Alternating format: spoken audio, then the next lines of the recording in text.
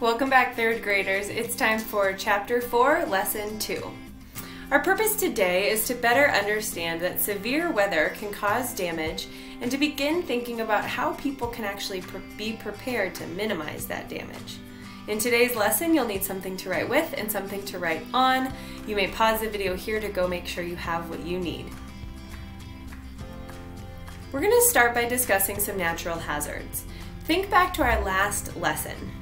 Do you remember this tool you can see here?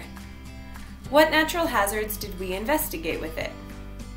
You may remember the symbol at the top showed blizzards, and then hurricanes, and we also looked at lightning. Remember what we found out about where natural hazards happen? We discovered a pattern to those locations. Remember our investigation question. How can people prepare for natural hazards? And here's a reminder of our Chapter 4 question. How can the WPO prepare for natural hazards that might damage their offices? Remember, as meteorologists, we're trying to figure out how people can prepare for natural hazards. The Wildlife Protection Organization wants that information so that they can protect their office building from damage.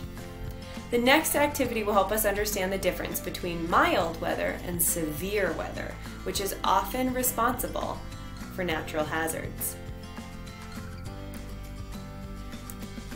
There are different types of natural hazards and there are patterns to where they occur. But how bad is the weather during a natural hazard?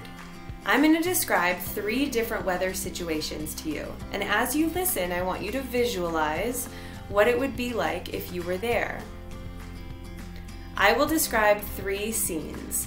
If you want, you can close your eyes and listen as I describe them. Try to imagine what it feels like, what sounds you hear, what you see, and maybe what you're wearing. Make a picture in your mind to go along with my words. Here is scene one. Imagine you are outside flying a kite. It's windy enough to get your kite up in the air. The wind pushes your clothing around. Leaves are moving a little bit on the branches. Light rain starts to fall, but it's not too bad, so you continue flying your kite. You're glad you're wearing a light jacket. Here is scene two. Now imagine that the rain starts coming down harder. The branches of the trees are moving, and you decide, decide it's time to reel in your kite and go home. Once you're inside, you can see the rain splattering on the windows and puddles forming on the ground. Every few minutes, a gust of wind blows a tree branch against the window and it makes a scraping sound. You curl up on the couch with a blanket and you're glad that you are inside and out of the rain. Here is scene three. Now imagine that the rain is pounding on the roof. Water has collected huge puddles and cars look like they're swimming. Tree branches are blown furiously by the wind and some break off and fall to the ground.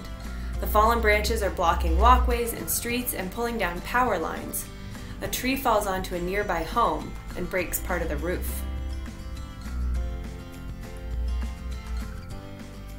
Those are your three scenes. How did the weather change from the first scene to the last one? I bet you noticed in the third scene more water, stronger winds, and damage to a building. That means the weather was more severe. Here is a really important vocabulary word we've talked about, and this is one you might want to write down. You can always pause the video if needed so that you write it down. You can even make a drawing so that you know what this means. A natural hazard is severe weather or another natural event that can cause damage. In the example we just imagined, the wind and rain caused the trees to fall and the streets to flood. Let's start our next activity, Reading Dangerous Weather Ahead. This book has more information about hurricanes, blizzards, and lightning. It also talks about what people can do to be prepared for these weather events and how to stay safe. Remember as I read, I want you to be visualizing everything. You can always pause and observe. There's a lot of maps in this book if you want to pause the video, you can really observe what those maps are showing. Okay, I will see you in the next slide for our reading.